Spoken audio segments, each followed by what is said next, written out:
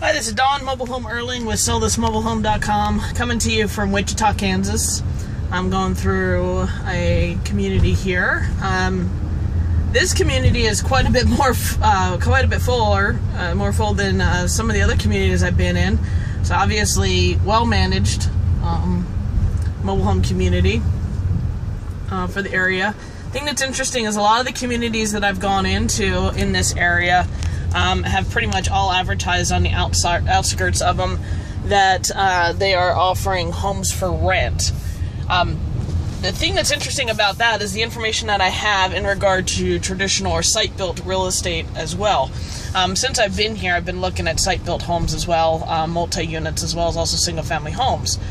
Um, a lot of the homes that are more of your entry level homes, uh, depending on the area that they're in, um, are starting. Some of the ones that need a little bit of work, we're starting at about um, fifteen, twenty thousand dollars, um, up to about eighty, uh, eighty-five thousand dollars. And so, um, I was out with two different real estate agents uh, the other yesterday, and we were going into a couple different areas.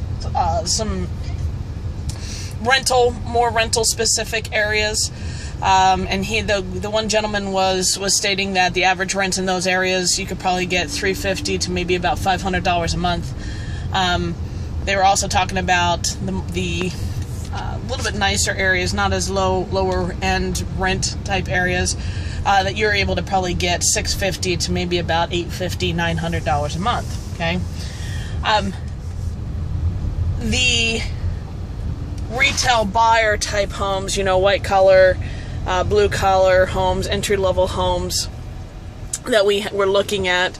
Um, on average, probably top resale amount would be about $150,000. Obviously, depending on the area, some areas were capped off at $50,000, $60,000. So, what is my point? Well, in an area where you have affordable housing like that, um, you're going to be hard pressed to get somebody or have somebody be convinced or look to buy a mobile home for about the same price because a mobile home like this one here, um, brand new, you're looking at maybe if it's bare bones basic and it's not real long, you're looking at you know $40,000 all the way up to $120,000 for a mobile home that's going to sit on somebody else's land. That doesn't include the land. Uh, for a single wide, you could start out about $30,000 brand new and go up from there as well. Um, used in a lot of areas, you know, uh, 90s trailers, 90s mobile homes that are single wides. Uh, you might end up with a situation where you're, depending on the area, where you're looking at maybe ten to maybe eighteen thousand dollars, twenty thousand dollars. Some of them you might be able to get as high as twenty-five, twenty-eight thousand dollars, depending on how long it is and what kind of features it has. But for the most part, that's not too far off from what the the sales amounts are for site built homes with, you know, a half acre, three quarters of an acre of land with them where people don't have to worry about um, paying lot rent and dealing with a park manager. So, um, what I would say is in an area like this where the prices, I think, I think both of them were saying that the appreciation in this area hasn't been real, real strong, um, even during the the boom period and so therefore they didn't have a huge drop in price either.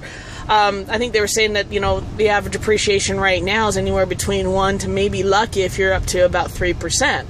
So the house prices aren't going to be skyrocketing anytime soon, and so that's not going to change anytime soon. Um, the one thing that I did note in some of the homes that we were looking at, and some of the areas that we're looking at, is if you're looking for affordable rents, rental properties, um, you're going to be going into a bit less desirable areas. And so, for this area, I would say probably one of the strengths that this community or that mobile homes in this community have is that if you'd be able to rent them out, it's a nice, clean, as you can see, nice, clean community. It has a park manager or manager on site who's monitoring and keeping everybody in line, making sure that the home sites are maintained as well. Um, if you can rent right along with the park and these these communities out to uh, tenants, that might be a, a, very favorable option and probably one of the, the more profitable options within an area like this when the price of homes ends up being um, a bit a bit more reasonable. Um, but if the people can't qualify for financing, obviously they're not going to have that option. So, um, anyway, it's just a, a, an analysis, just food for thought. Every area is a little bit different.